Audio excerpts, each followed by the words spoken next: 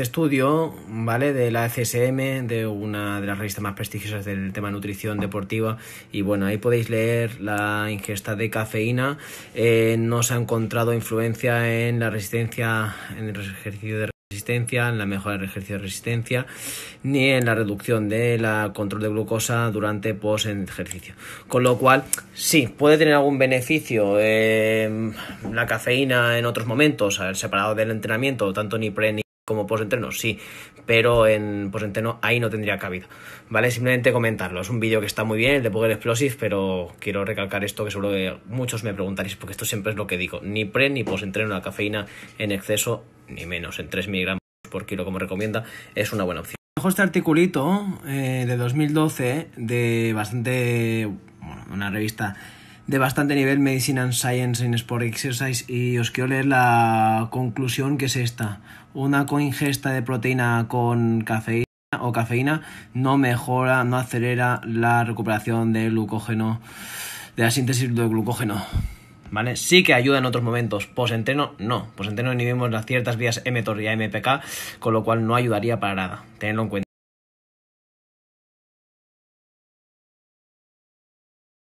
Vamos a ver un resumencito de los beneficios de la cafeína del café en nuestro organismo, que son bastantes. Empiezo.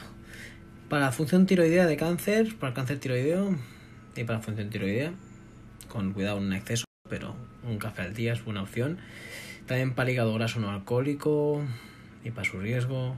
También para problemas, aparte de riesgo de hígado graso, enfermedades de hígado tenemos bastante evidencia como preventivo del cáncer de mama, con metanálisis de 36, 37 estudios. Otro de café descafeinado, café eh, tanto con cafeína como sin cafeína en el riesgo de cáncer, cáncer hepatocelular, hepático. Otro estudio de diferentes tipos de cáncer, una revisión de metanálisis. Tenemos otro de la del sistema inmunológico por infección por hepatitis C, como la cafeína, sus antioxidantes ayuda. Tenemos que tener en cuenta esto que siempre está con este artículo, que es el genotipo. Depende del genotipo que tengamos, tenemos que cuidado porque hay genotipos que, o sea, personas con un gen que no responden a la cafeína igual que a la creatina. Tenemos que tener cuidado con la individualización, ¿vale? Después vemos otro de que el café tostado de buena calidad puede reducir el daño genético en personas, chapó. También tenemos otro de riesgo cardiovascular, disminuye, otro de, de problemas de kidney, de, de riñón, que a veces me quedo trabancado.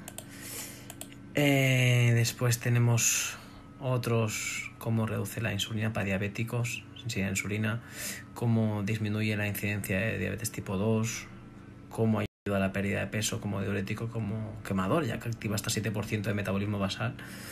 Luego, en parte psicológica, tenemos beneficios para la depresión, dos estudios bastante, bastante potentes, tanto de café como de té, importante para evitar depresión, tanto por ciento y menos riesgo de depresión. Con estudios de la cafeína, como no, como no, para entrenamiento de fuerza, entrenamiento de resistencia, isométrico, tanto para deportes de combate, deportes de resistencia, deportes de fuerza, bastante evidencia.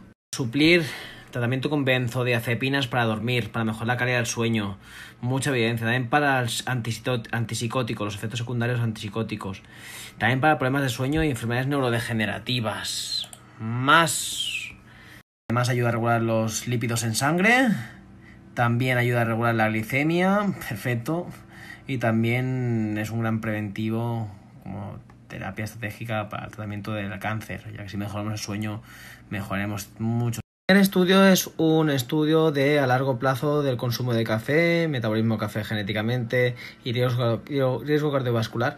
Y ya veis la muestra, más de 347.000 personas y de casos y de 2.868 casos. Eh, comentaros que se ve beneficio en el consumo de la cafeína en la población en general, menos cuando hay un consumo elevado de café.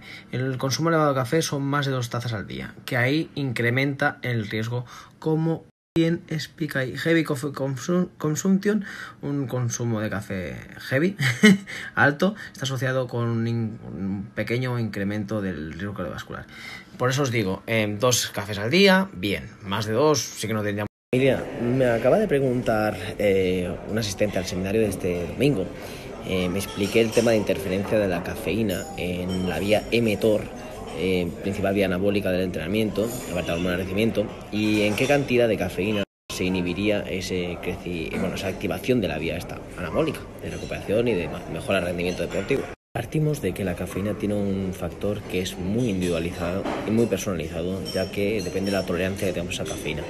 También hay dos genes, el ADORA, y el, el ADORA 2 y el CYP1A2, que son los encargados de, la tolerancia a la cafeína.